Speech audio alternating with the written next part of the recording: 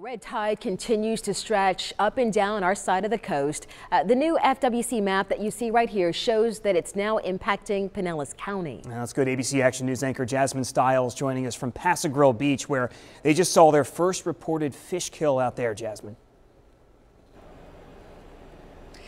James, the FWC's report doesn't specify if that fish kill comes from red tide, but people here at Pass-a-Grille have also experienced respiratory issues, and those two things are hallmarks of red tide.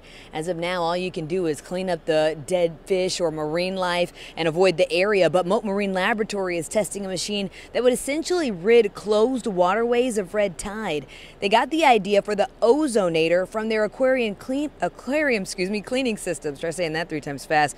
Now, to spare you the scientific explanation, it basically pulls water saturated with algae, purifies it, then pushes it back into the waterway. Currently, it's being tested in a canal in Boca Grande, and residents say their fingers are crossed for positive results.